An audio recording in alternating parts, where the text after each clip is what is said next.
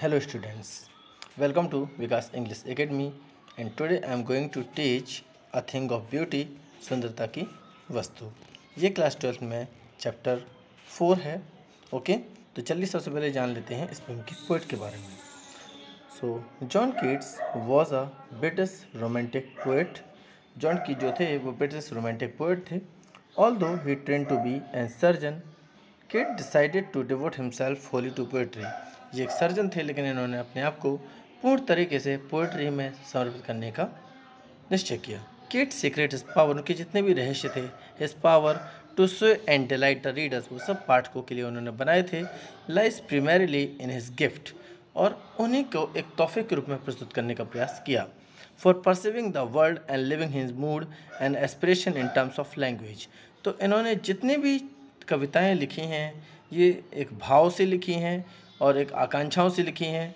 The following is an excerpt from the poem Endymion और ये जो हमारी पोएम है, ये एक एंडीमियन नाम के काव्य से लिया गया है। ये एक पोएटिक रोमांस है okay the poem is based on a Greek legend और ये जो पोएम है, एक ग्रीक लेजेंड यानी ग्रीक किवदंती पर आधारित है विच एंडीमियन जिसका नाम है Endymion a beautiful young shepherd and poet who lives lived on Mount Latmos और यहाँ पे एक शेफर्ड होता है, जो कि एक कवि होता है, वो माउंट लेटमोस पर्वत पर रहता है had a vision of Cynthia अब उसको चंद्रमा की देवी सिंथिया के दर्शन हुए थे, जो कि मून गॉडेस कहलाती थी।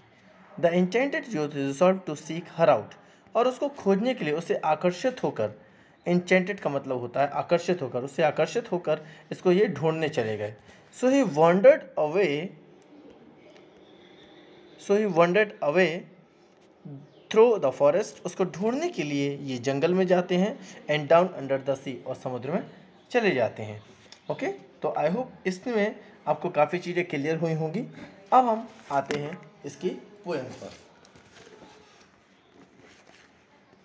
लिखा है a thing of beauty is a joy for ever its loveliness increases it will never pass into nothingness but will keep a bower quiet for us तो यहाँ पर हमारे जो पोएट हैं, वो कहते हैं a thing of beauty is a joy for ever यानी थिंग ऑफ़ ब्यूटी जो होती है, वो हमेशा के लिए होती है, ठीक है? आनंदयी होती है, इसकी सुंदरता हमेशा बढ़ती रहती है, ओके? और यह कभी भी नगण्यता यानी सुस्तता में नहीं बदलती। But will keep a bower quiet for us और ये एक शांति भरे, ठंडे छायादार स्थान मीठो सपने वाली नींद, यानी full of dreams and health और हमारा स्वास्थ्य एंड क्वाइट ब्रीथिंग और आरामदायक देने वाली जो सांस है, उसके समान ये होती है। Therefore on every morrow we are breathing a flowery band to bind us to the earth इसलिए प्रत्येक सुबह, यहाँ मोरो का अर्थ होता है सुबह से। ओके प्रत्येक सुबह वी आर रीथिंग रीथिंग का मतलब होता है गुथे हुए। ओके हम लोग गुथे हुए हैं, बंधे हुए हैं किससे? फ्लावरी बैंड से, एक फूलों के बैंड से to bind us to the earth जो हमें पृथ्वी से जोड़ती है। स्पाइट ऑफ़ डिस्पोंडेंस डिस्पोंडेंस का मतलब होता है निराशा। यानी इस निराशा के बावजूद वो हमें जोड़े हुए हैं, है ना? इन ह्यूमन डर्थ अब यहाँ पे इन ह्यूमन डर्थ का मतलब होता है अमानवीय कमी of noble nature noble nature यानी कि महान जो नेचर्स होता है नेचर यानी प्रकृति होती है of the gloomy days gloomy days यानी कि जो अवसाद भरे दिन होते हैं, जो हमारे दुखी वाले दिन होते हैं, उनको कहा जाता है. Of all the unhealthy and over dark and ways और जितने भी सहारे अस्वस्थ और ओवर डार्केंड का मतलब होता है, निराशा भरे तरीके जो होते हैं मेड फॉर आवर सर्चिंग जिनको हम खोजते रहते हैं. Yes in spite of all some shape of beauty और इन सब के बावजूद जो सुंदरता है, ठीक है, उसका रूप हमारी उदास अंतरात्माओं से नीरसता का आवरण, यानी जितनी भी नीरसता होती है, या moves away the pall pall का मतलब होता है जो आवरण हमारा होता है, ठीक है from dark spirits dark spirit यानी जितनी भी अंधेरी रातें हैं such as the sun and the moon है ना trees old and young sprouting shady boon तो यहाँ पे सबसे पहले जान लेते हैं कि उसका आवरण जो उतार देती है और इस प्रकार सूर्य चंद्रमा, पुराने युवा पेड़ मेड फॉर सर्चिंग साधारण भेड़ों के लिए अंकुरित हुए पेड़ की छाया के रूप में वरदान बन जाते हैं। अब आते हैं इसके नेक्स्ट पैराग्राफ पे। For simple sheep and such as daffodils तो यहाँ पर हमारे पोइट कहते हैं कि सिंपल सीप सीप का यहाँ पे मतलब है भेड़ों से। और यहाँ पे डेफोडल्स क्या होते हैं? डेफोडल्स होते हैं नरगिस के फूल। With the green world they live in जिसमें हम लोग रहते हैं। Okay and and a clear rills clear rills मतलब छोटी छोटी नदियों की धाराएँ। That for them self cooling covert जो कि एक ग्रीष्म ऋतु में एक ठंडक प्रदान करने वाला आश्रय बना लेती हैं। With is rich sprinkling for the musk rose blooms जहाँ पे मस्क रोज खिलते हैं।